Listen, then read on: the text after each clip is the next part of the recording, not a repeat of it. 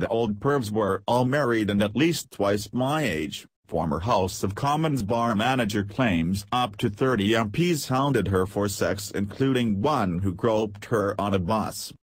Alice Bailey worked at Parliament's sports and social bar for nearly four years.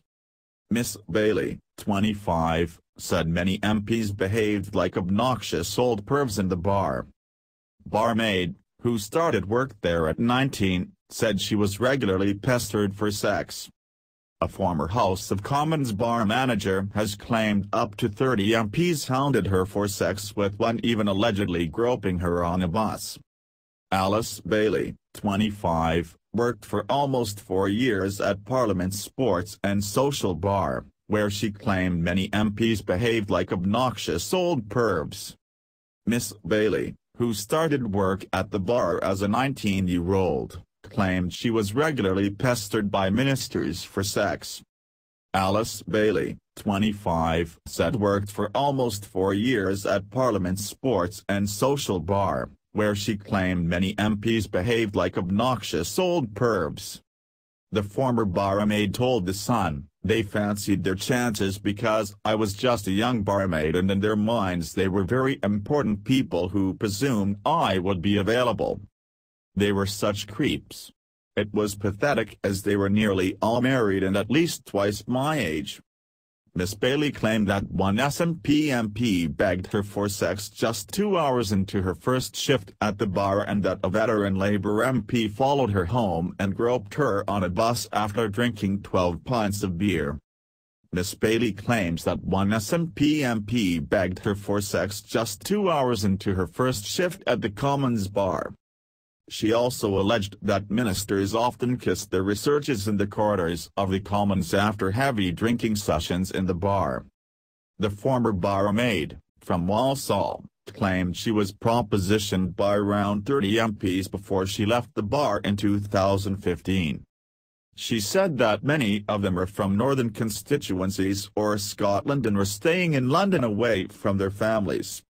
The explosive claims from Miss Bailey come as Parliament continues to be rocked by a string of sex abuse and harassment claims over the past fortnight. The scandal emerged last month after it was revealed female staff in Westminster were naming and shaming sex pest MPs on a secret WhatsApp group. Cabinet members are believed to be among a list of politicians branded not safe in taxis and lifts or very handsy by aides and researchers. While the usual suspects are said to be well known by those in Westminster, the list was recently drawn up to bring new recruits up to scratch on younger names. Female aides, belonging to the WhatsApp group then compiled a dirty dossier that included 40 names, encompassing all levels of the Tory party. It featured six cabinet-level ministers and 12 lower-ranking ministers. Some 10 former ministers, including a handful who served in the highest ranks of government, were also on the roll call. But while a number of the MPs are alleged to have acted inappropriately, around 15 of the claims relate to consensual relationships or personal sexual preferences, without any apparent misconduct.